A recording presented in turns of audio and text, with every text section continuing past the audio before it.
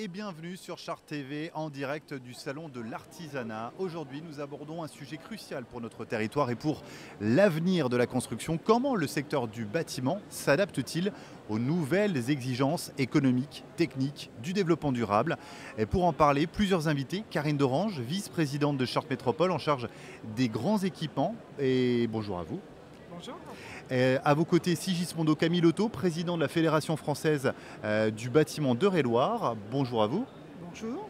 Et enfin, Cyril Rivière, directeur travaux chez euh, Sogea Centre. Bonjour. Alors on va définir évidemment vos rôles dans la construction, on va aborder plusieurs exemples de projets dans cette émission, mais avant, quelques chiffres pour débuter. Le bâtiment en France représente 1,5 million d'emplois euh, directs. Euh, ces entreprises sont des, euh, des, PME, des TPE, des acteurs nationaux. Ça représente 90 000 entreprises. Ces chiffres, vous les connaissez, Sigismondo Camilotto. ma première question sera pour vous. Est-ce que vous n'êtes pas finalement un peu le premier employeur de France avec, quand on écoute ces chiffres? Oui, oui, tout à fait. La Fédération du bâtiment représente bien le premier employeur de France. Le bâtiment est vu comme d'intérêt stratégique pour le gouvernement, comme toujours. Bien que nous avons eu l'impression que le secteur de la construction ait été relayé au second plan. Nous avons bon espoir d'avoir le soutien total de la nouvelle ministre du Logement. Très au bien. niveau départemental, Oui. Notre fédération représente 50% des entreprises du bâtiment, soit 4900 emplois, soit à peu près 75% des employés du bâtiment de l'Eure-et-Loire. Fort de notre représentativité au plan national, nous sommes le troisième. Nous avons des liens privilégiés avec les instances locaux afin de représenter toutes les entreprises, que ce soit les grandes, les petites et les moyennes. Et d'où votre présente ici au salon euh, de l'artisanat, c'est Chartres. Tout à fait. Euh, nous revenons vers vous dans un instant pour parler du rôle de la Fédération française du bâtiment, euh, notamment dans la formation ou l'accompagnement de ces entreprises locales. Mais parlons de ce lieu où nous sommes, l'Iliade. Karine Dorange, vous avez euh, suivi chaque étape du projet de sa construction. En tant qu'élu de Chartres Métropole, aujourd'hui, euh, de le voir en pleine effervescence, euh, qu'est-ce que ça vous fait? Beaucoup de joie, beaucoup de bonheur. Surtout que l'équipement a été ouvert il y a un peu plus de trois semaines seulement, donc on est vraiment sur le premier grand événement euh, qui se déroule à l'Iliade, un premier événement grand public. Et effectivement, depuis trois jours et demi, euh, euh, globalement, c'est beaucoup de bonheur, aussi bien pour nous organisateurs, mais aussi beaucoup de bonheur de voir que la taille de l'équipement répond aux attentes des salons, qui, alors le salon du moment, mais surtout les salons à venir qui viendront dans les années futures. Au total, c'est 180 000 mètres carrés aménagés sur le, plateau nord-est de Chartres, un équipement du coup dédié aux événements au salon, vous l'avez dit. Et, quand vous avez imaginé ce nouveau parc des expositions, quelles étaient les, grandes lignes du cahier des charges? Alors en fait, l'origine de ce projet du nouveau parc d'expo, c'est euh, les artisanales de Chartres. Et là, je remonte euh, au premier mandat, euh, entre 2001 et 2008, où effectivement, euh, les artisanales de Chartres, puisque cette année, c'est la 30e édition du salon, même si le nom a changé, puisque maintenant, c'est l'artisanat c'est Chartres. Mais entre 2001 et 2008, en fait, le, constat a été rapidement fait de dire que le parc d'exposition Chartres Expo n'était plus adapté, puisqu'il fallait louer des tentes pour euh, accueillir tous les artisans qui souhaitaient participer au salon. Et en fait, on est parti de ce constat-là et euh, un cahier des charges a été fait pour définir euh, les besoins en termes de mètres carrés couverts nécessaires. Et c'est comme ça qu'on est arrivé effectivement à un parc indoor à 10 000, 10 000 mètres carrés et puis un projet de parc extérieur à terme. Alors le, le, secteur du bâtiment a évolué, on va parler de ce, ce bâtiment, de l'Iliade avec vous, Cyril Rivière. justement, en quoi ce chantier est un peu hors norme? Alors c'est un chantier hors norme, euh, on va dire, de par ses proportions. Euh, il est de conception, on va dire, plutôt classique. Euh, c'est une structure mixte béton-métal, mais en fait, voilà, il a des proportions qui sont un petit, peu, supérieures à la normale. On a une charpente métallique avec des portées de 60 mètres, avec des charges qui peuvent y être suspendues de l'ordre de 4 tonnes à peu près, ce qui donne des contraintes importantes. Euh, donc la charpente c'est à peu près 700 tonnes hein, pour se représenter et une, poutre métallique, il y en a 18, chaque poutre fait à peu près 40 tonnes. Donc c'est des éléments qui sont déjà euh, assez importants. Euh, une deuxième spécificité sur ce, sur ce projet, c'est la, la, décomposition des halles, c'est-à-dire qu'on a une halle qui fait 10 000 m2 dans sa, dans sa superficie totale. Et c'est modulable C'est modulable, voilà, c'est-à-dire qu'on peut, euh, on peut la diviser en trois halles différentes pour y faire trois expositions, trois événements différents, sans que l'un ne vienne perturber l'autre. Et pour ça, on a utilisé, on a mis en place hein, des écrans mobiles, des murs mobiles, qui sont euh, dissimulés en ce moment là pendant les artisanales. Euh, mais un mur mobile, ça fait, ça fait 60 mètres de long par 9 mètres de haut, ça fait à peu près 27 tonnes, et c'est décomposé en 43, 43 panneaux, comme des panneaux de, de, placard, j'ai envie de dire. Euh, pour euh, combiner euh, la faisabilité des deux, de, ces, de ces murs mobiles et malheureusement la souplesse des poutres qui, elles, restent malgré tout souples, hein, sur 60 mètres de portée sans poteau intermédiaire. Il a fallu qu'on réinvente, on va dire, des systèmes qui peuvent exister par exemple pour des panneaux de basket dans des gymnases où les, panneaux de basket peuvent s'escamoter dans la charpente. Là on a fait ça avec des poteaux qui, euh, qu'on redescend pour pouvoir sortir les, murs mobiles. Euh, mais qu'on ne voit pas là, dans cette conception-là, dans cette configuration-là, quand on a les 10 000 m2, les, les, poteaux, eux, sont cachés dans la charpente. Le plus gros, euh, on va dire, la plus grosse spécificité, de, le plus gros enjeu de ce projet-là, vous l'aurez compris, c'est surtout la façade, qui a fait énormément parler d'elle. Ce fameux drapé de béton ce, beau drapé, alors c'est à peu près 8000 m2 de, de façade et de casquettes, hein, puisque les, casquettes noires euh, qui gravitent euh, au niveau de l'administration et du restaurant euh, sont aussi faits en béton projeté. Donc 8000 m2, à peu près 600 tonnes de 600 m3 pardon, de, de béton fait à la main. Euh, et à peu près 6 mois de travaux avec des équipes qui ont travaillé 6 jours sur 7 pendant, oui, pendant 6 mois. Oui, c'est pas si simple que ça. On, a l'impression que, c'est simple quand vous le dites, mais euh, il y a une vraie technique, un, vrai artisanat presque, j'ai envie de dire d'ailleurs. C'est un artisanat, c'est quelque chose qu'on a euh, réinventé, on va dire. C'est une technique de construction qu'on emploie d'habitude plutôt pour, pour des choses décoratives ou pour du soutènement, pour des consolidations. Là, on a adapté un système qui existait ailleurs, mais dans d'autres applications, ici sur un revêtement de façade. Alors justement, j'ai une citation qui parle de ce drapé en béton. Je vous propose de, de petite devinette, de deviner qui, euh, qui euh, dit ça. Le drapé béton, c'est un ouvrage exceptionnel d'une complexité inouïe. Ils, en parlant de vous, ont été pris au piège de l'architecture fait main et ils ont relevé le défi vous reconnaissez le style. Ça peut être que Rudy. C'est voilà, Rudy Ricciotti, l'architecte de l'Iliade. Euh, justement, euh, il était présent lors de l'inauguration, il était présent à, un certain nombre d'étapes pour suivre ce projet. Euh, et il a voulu mettre à chaque fois une dimension sociale dans, cette construction. Karine Dorange, pourquoi c'est important finalement de faire confiance à un architecte pour son coup de crayon et puis aussi pour ses convictions d'une certaine manière? Alors, quand on choisit un, projet d'architecte, lorsque les services ont analysé euh, je dirais, la partie technique, fonctionnement, pour s'assurer que ça répond au cahier des charges. Souvent, le jury de concours, c'est effectivement l'esthétique euh, du projet qui va, le retenir. Et cette phase sociale, effectivement, est expliquée à travers le jury de concours. Euh, il faut savoir qu'aujourd'hui, collectivité, mais c'est vrai également pour les entreprises locales, on essaie tous de privilégier les circuits, les circuits courts hein, et le fait main. Après, on est confronté au marché public.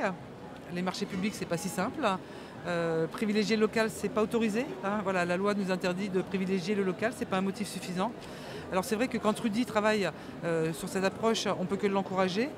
Et, c'est vrai que même si euh, l'équipement, la construction s'est faite, effectivement, il y a, on est vraiment sur de l'artisanat pur, si on raisonne par exemple sur la façade, mais on n'a pas trouvé localement les compétences et là on est allé chercher ailleurs. Mais en tout cas, privilégier le travail local, l'emploi local et les entreprises locales, c'est une volonté, mais réglementairement, c'est pas si simple. Hein. Quoi qu'il arrive, il faut effectivement qu'il y ait le savoir-faire et que les coûts euh, correspondent euh, à l'enveloppe euh, affectée au projet. Vous êtes directeur chantier Sylvie Rivière, mais cette dimension, cette question locale et sociale, vous l'avez suivie de très près chez Sogea Centre? Oui, oui, alors c'est quelque chose que l'on suit systématiquement. Alors Sogea Centre est une entreprise locale, hein, contre, un peu tout, ce qu'on peut penser. On fait partie du groupe Vinci, mais on reste, implanté euh, localement. Et euh, on a à cœur effectivement systématiquement euh, de faire travailler le tissu local dans la mesure du possible et dans la mesure où les compétences locales existent, comme le disait Karine Dorange. Ce qui n'est pas toujours, qui malheureusement pas toujours le cas. par exemple ici, effectivement, le béton projeté, aucune entreprise ne sait faire ça, même en France, il y en a très très peu. Là, on a été chercher malheureusement une entreprise espagnole parce que c'est une compétence qu'on trouve très très rarement. Euh, le dallage en béton, il y a 10 000 m2, trouver des entreprises qui savent faire 10 000 m2, couler 10 000 m2 en 10 jours, on n'en trouve pas localement, donc on est obligé d'aller en chercher un peu, un peu ailleurs. Mais euh, quand les compétences existent, on fait force de, faire travailler le tissu local, euh, ce que c'est possible. Ici, on a énormément d'entreprises locales qui ont travaillé sur, sur, sur le site, je ne sais pas si on peut les, citer, mais voilà, il y, en a, il y en a plein sur des lots techniques. Et aussi avec une vraie démarche d'insertion professionnelle Alors oui, euh, ici on avait une, clause d'insertion comme on en retrouve tous les chantiers. systématiquement, hein. Euh, sur tous les marchés publics, euh, c'est maintenant systématique. là on avait une clause qui nous contraignait à faire 18 000 heures d'insertion. On en a produit à peu près 24 500 ce qui est colossal. c'est le fruit du travail de toutes les entreprises. Hein. Ce n'est pas uniquement notre travail à nous, c'est-à-dire qu'on sollicite tous nos partenaires, tous nos sous-traitants, qui, euh, eux, font travailler euh, localement enfin, voilà, des, personnes en situation d'insertion.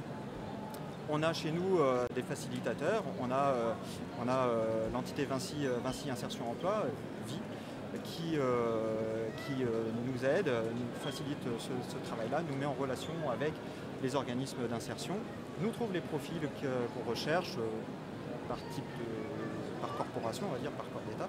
Euh, et qui nous, permet justement de, produire ces heures d'insertion. On a aussi en 2023, on a participé avec la FFB, euh, à la demande de la FFB, euh, aux coulisses du bâtiment, c'est-à-dire que le,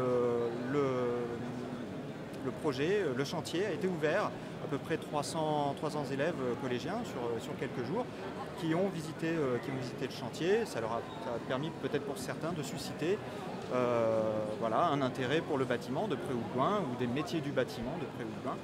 Euh, et on est encadré aussi avec euh, des, personnes chez nous au sein, au sein du groupe qui sont aux relations écoles, qui, font le relation avec les écoles et qui permettent de diriger ces, futurs, futurs élèves. Voilà. Sigismondo Camilotto, alors on a parlé d'un certain nombre de sujets, là, de formation, d'insertion, de technique d'innovation. Euh, peut-être un mot, vous, euh, les entreprises locales, elles sont prêtes à tous ces euh, chantiers, à tous ces défis? Oui, nous avons plusieurs actions concrètes. D'une part, nous avons un partenariat avec France Travail, ce, qui nous permet d'établir des actions communes afin, afin de répondre aux besoins de recrutement des entreprises. Nous sommes également très proches des structures d'insertion par l'activité économique. Nous sommes aussi en cours d'élaboration d'une convention avec Move Emploi, ce qui permettra de répondre aux besoins de la mobilité de demandeurs d'emploi.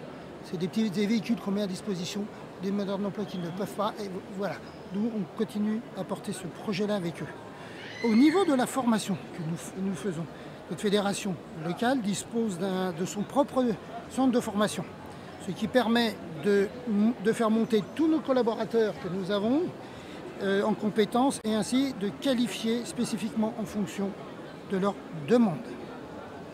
Concernant la formation initiale, vous savez que nous sommes très proches. Nous avons des liens très proches avec le BTP CFA Centre que nous avons à Chartres, un joli centre, le lycée Philibert Delorme avec qui nous travaillons. Hein, d'ailleurs. Tout à fait. Et des autres établissements où ils forment des personnes en difficulté et on essaie de les insérer ensemble. Nous sommes nous, sommes un, relais pour, entre les entreprises et les centres de formation, les apprentis, et on est surtout un facilitateur. Très bien. Un, mot, Cyril Rivière, euh, vous avez suivi du coup de, bout en bout euh, ce projet de l'Iliade. Euh, peut-être une fierté, quelque chose sur lequel vous avez travaillé un peu plus et vous avez dit ah ça va être compliqué ou, une anecdote ou peut-être un élément particulier dans cette architecture ou un détail que les visiteurs ne voient peut-être pas qui, que vous aimez plus que d'autres et que vous souhaiterez mettre en avant? Non, non, je vais peut-être vous décevoir. Non, on s'attache à, à, ce que le bâtiment soit la copie conforme de ce que l'architecte avait souhaité pour euh, respecter euh, l'enveloppe et l'image du, projet, hein, qui était euh, importante, on va dire, voire primordiale. Et on s'attache énormément aussi à ce que le bâtiment soit fonctionnel et réponde au mieux aux attentes du maître d'ouvrage, mais également de l'exploitant, avec qui on a travaillé de concours, je dirais, depuis, depuis l'avant-projet détaillé, donc vraiment la, source du projet. donc en fait, oui, on s'est vraiment attaché à ça et la satisfaction, c'est d'avoir répondu aux deux critères. Vraiment, on a un projet qui, est, satisfait à 100%, voire 200% euh, Rudy Rixotti, qui l'a clairement exprimé, et euh, à notre exploitant euh, qui, je trouve, enfin voilà, semble relativement satisfait du projet.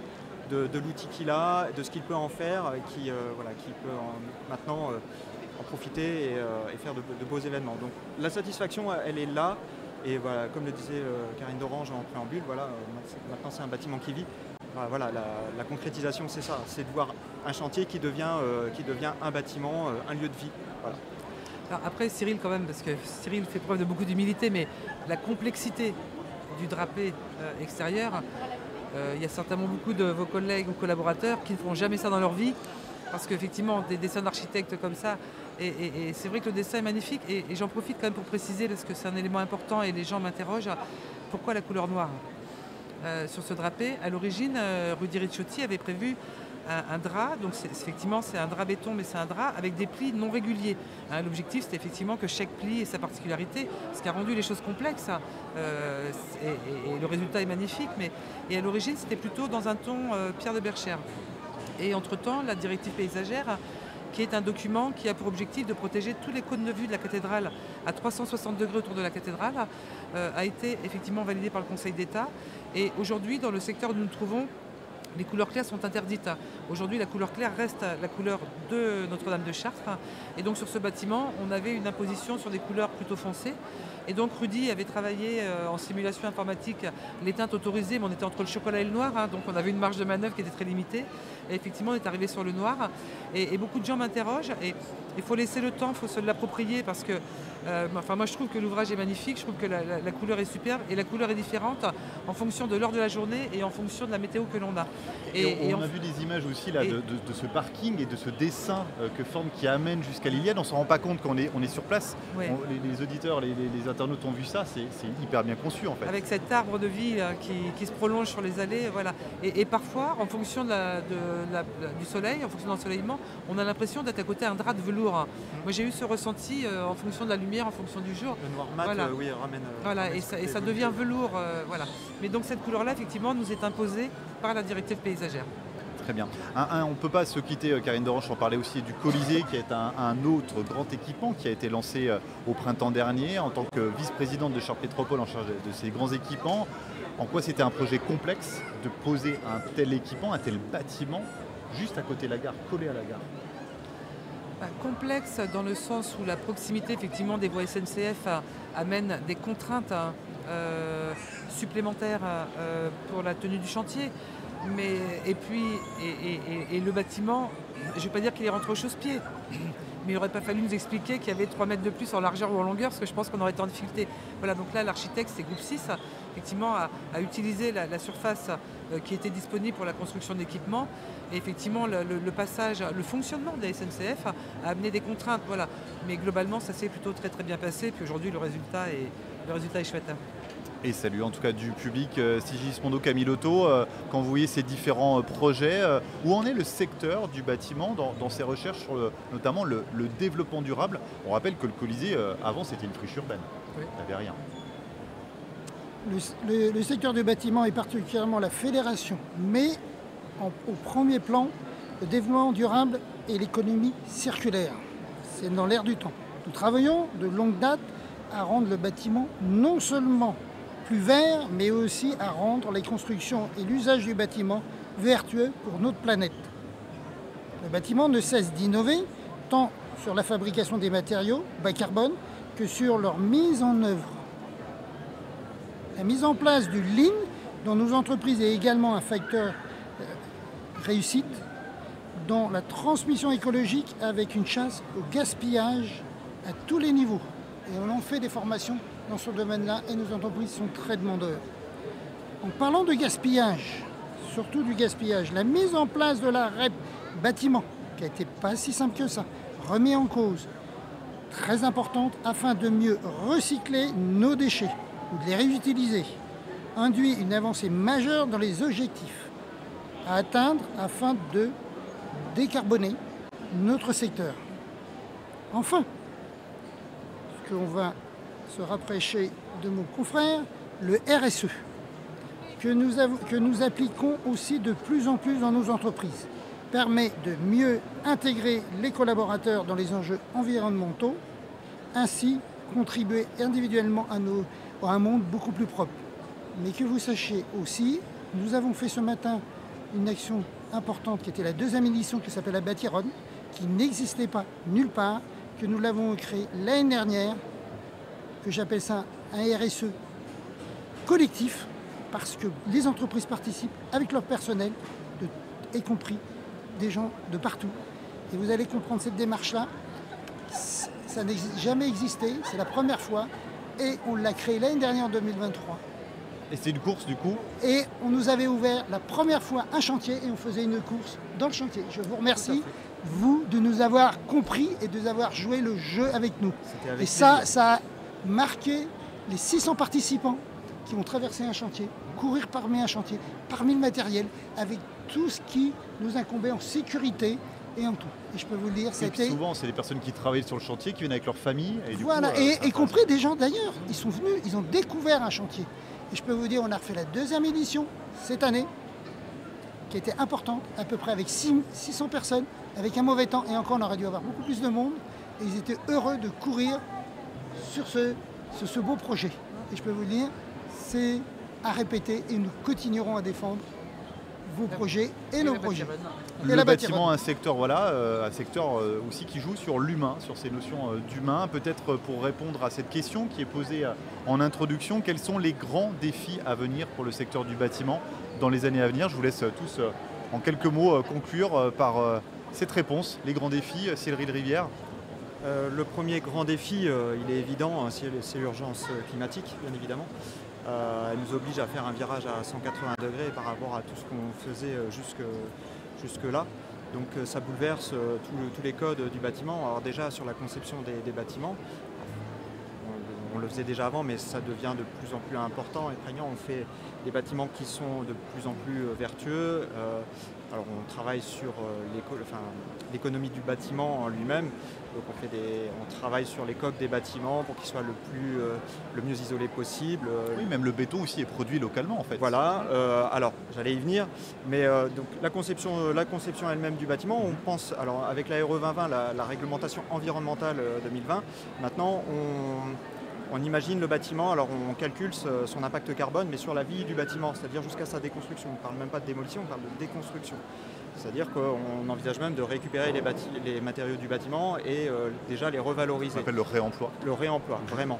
Euh, ça c'est vraiment une grosse piste de réflexion. Maintenant, quand on fait de la conception sur, sur des projets, ça nous arrive de plus en plus, on pense même euh, sur la vie du projet à, ce qu'il puisse avoir même plusieurs vies, c'est-à-dire un bâtiment de bureau qui puisse devenir demain un bâtiment de logement. On a un exemple à Rennes en ce moment. Euh, on travaille donc sur les matériaux, donc le, le, béton bas carbone, forcément, euh, en fait partie. Maintenant, on fait des bétons, même euh, des bétons de terre, des bétons à base de bois. Enfin, voilà, on, diversifie le, béton, les matériaux biosourcés. On essaye de revaloriser les matériaux. Donc, ce qui n'est pas, consommé sur, un projet au sein du groupe, maintenant, on a des sortes de, le bon point, on va dire, mais euh, euh, qu'on s'est approprié, qui nous permet de, euh, on de proposer des matériaux à, des, camarades sur d'autres opérations plutôt que de les jeter, ce qui pouvait se faire. Oui, finalement, c'est une somme d'idées comme ça et de solutions qui permet aussi à un moment donné d'y penser à cette exactement, de développement Exactement, et donc oui, le béton bas carbone fait, c'est la solution, on va dire, la, plus, euh, la plus simple maintenant, parce qu'on en trouve assez facilement et on, nous y contraint de toute façon. Euh, et bon, après, l'impact, c'est aussi euh, sur la construction elle-même. Donc, c'est nos bases vie qui étaient très énergivores, qu'on se veut maintenant de plus en plus vertueuses. Donc, on essaye d'imaginer des enveloppes économiques, on va dire, sur, les, bungalows, enfin tous les bâtiments modulaires qu'on utilise. les ressources en eau, ici par exemple, le projet, euh, sur ce projet, on a mis une cuve de, 20 mètres cubes d'eau, 30 euh, mètres cubes d'eau, pardon, euh, qui, sert pour, pour, ce, pour ce bâtiment. On se l'est approprié au préalable, c'est-à-dire que nous, on s'en est servi en phase chantier. On s'est servi de, cette, de l'eau de pluie récupérée, contenue dans cette cuve de 30 mètres cubes, au fin du chantier. Et après, voilà, on est très très regardant sur les pertes en eau, en énergie, en électricité. On compte, on compte l'énergie et Maintenant, voilà, on limite, euh, on limite nos, consommations, on limite notre impact euh, comme ça. Alors ça, c'est plein de petits gestes, comme vous disiez, les, flottes de véhicules qui deviennent maintenant électriques ou hybrides, euh, voilà. Monsieur le Président de la Fédération française du bâtiment de loire alors, ces grands défis, c'est ça? C'est une somme de petites solutions, de petites idées? Oui, mais il y a aussi les grands défis sont notamment ceux de répondre à une demande croissance des besoins du, logement, sans pour autant empiéter massivement sur les terres non artificialisées. Il y a une nécessité de densifier nos zones urbaines, une surélévation des bâtiments existants afin de répondre à ces besoins. Nous devons aussi anticiper la rénovation énergétique, penser à l'intégration de nouvelles technologies dans le bâtiment existant, ce qui n'est pas toujours simple à intégrer, surtout quand on est dans du bâti ancien. Et ça, c'est très important. C'est une démarche importante pour l'avenir, pour nos enfants, pour notre jeunesse, pour l'ensemble de tout le monde. Karine Dorange, un mot sur ces grands défis pour terminer bah, pour rebondir, oui, effectivement, on a, on a besoin de construire, effectivement, euh, en utilisant les friches urbaines, mais ça, la loi nous l'impose, euh, sans pour autant euh, aller sur des hauteurs improbables. Hein, voilà, il faut aussi que chaque collectivité a son plan local d'urbanisme, a quelques règles. Et, il faut qu'on puisse effectivement construire dans, ce qui correspond aussi aux attentes d'aujourd'hui. Donc il va être important aussi qu'on sorte un peu de la situation euh, difficile, parce que le bâtiment est en situation difficile. On voit bien que le logement est à l'arrêt. Moi je le vois, l'urbanisme à la mairie, euh, les permis de construire sont à l'arrêt, les promoteurs sont en difficulté, il n'y a pas de commercialisation. Donc souhaitons effectivement qu'avec euh, l'ensemble, enfin des mesures, une partie des mesures annoncées effectivement se, mettent en place. Mais moi j'ai confiance dans les professionnels et, et, que nous, collectivités, effectivement, euh, le gouvernement met en place aussi des mesures de simplification qui permettent au monde du bâtiment dans son ensemble de pouvoir redémarrer parce qu'autrement euh, ça va être encore une crise majeure importante euh, qu'on devra voilà et, on a coutume de dire que quand le bâtiment va bien tout va bien mais en ce moment malheureusement le monde du bâtiment n'est pas épargné. Très bien. Merci messieurs en tout cas d'avoir répondu à, cette invitation. Avant de partir, Karine d'Orange, euh, vous êtes la présidente de Séchartres Événements. C'était cette première édition de l'artisanat Séchartres. Peut-être un mot, un bilan euh, sur euh, ces quatre jours de fête, de saveurs, de savoir-faire, d'artisanat voilà, donc l'événement se termine ce soir, donc on, fera un bilan plus précis dans les jours à venir, mais globalement c'est une grande satisfaction. depuis ce matin, j'ai j'ai pas pu rencontrer tout le monde, mais j'ai pris le temps de faire le tour et de rencontrer le maximum d'exposants. J'ai rencontré des gens qui viennent depuis 10 ans, 15 ans, des nouveaux. Euh, c'est plutôt très très satisfaisant. J'ai demandé à chacun de me livrer aussi les pistes d'amélioration pour la suite. Il y a de belles idées euh, qui sont ressorties, donc on va, on va se remettre au travail. Mais en tout cas, ravi de ce premier événement. C'est vrai que le grand public, pour certains, était habitué à des espaces séparés avec des tentes et puis euh, un petit parc d'expo. Là aujourd'hui, ils rentrent dans une autre dimension. Euh, pour certains, euh, effectivement, c'est un peu impressionnant. Donc, tout le monde a des repères à trouver, tout le monde, voilà. Mais en tout cas, euh, un, premier bilan de cette première édition qui est effectivement de grande qualité. On annoncera les chiffres visiteurs, mais je peux déjà vous dire qu'on a dépassé le nombre de visiteurs des éditions précédentes. et dès demain, on va se mettre au travail pour l'édition prochaine. Très bien. Merci beaucoup Karine Dorange, présidente de ces Chartres événements et vice-présidente de Chartres Métropole en charge euh, des grands équipements. Merci encore messieurs. Après 4 jours en direct de l'artisanat C Chartres, Chartres TV rend l'antenne. Euh, j'espère que vous avez pris autant de plaisir que nous à découvrir les talents, les histoires, les coulisses ou encore les savoir-faire du territoire.